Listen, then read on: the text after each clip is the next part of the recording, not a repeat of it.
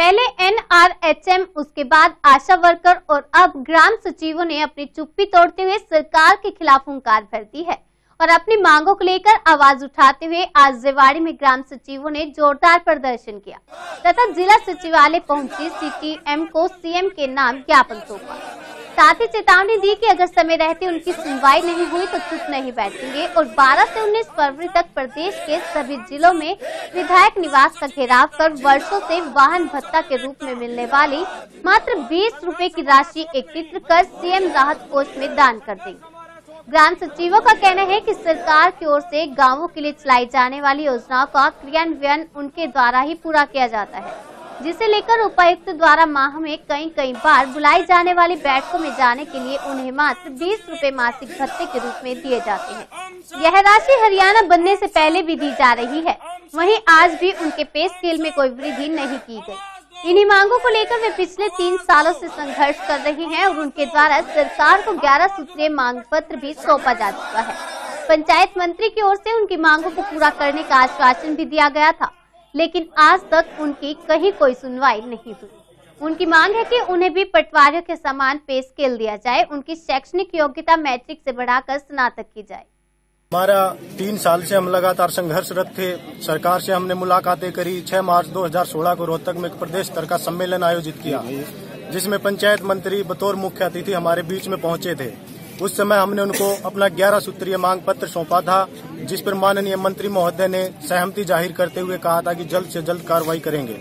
उसके बाद 18 मई 2016 को और 30 मार्च 2017 को हमारी विभाग के अतिरिक्त मुख्य सचिव और निदेशक महोदय के साथ हमारी एक बैठक सम्पन्न हुई।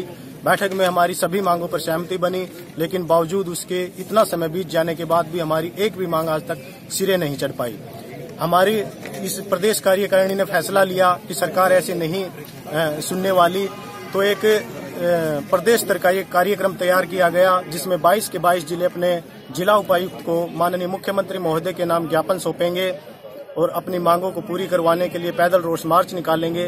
बिल्कुल लोकतांत्रिक तरीके से हम अपना ये कार्यक्रम पूरा करेंगे। पहले आपकी क्या प्रमुख मांग क्या थी? हमारी सबसे मुख्य मांग जो थी ग्राम सचिव जो कि ग्राम विकास है हमारी डेढ़ करोड़ से ज़्यादा की आबादी जो गाँव में विकास करती है, उनके लिए जितनी भी योजनाएँ बनती हैं, तमाम योजनाओं का जो क्रियान्वयन है, वो ग्राम सचिव के माध्यम से होता है। तो हमने सरकार को कहा था कि आप ग्राम सचिव के लिए जो शैक्षणिक योग्यता आपने दसवीं रखी है, उसको स्नातक कर दीजिए।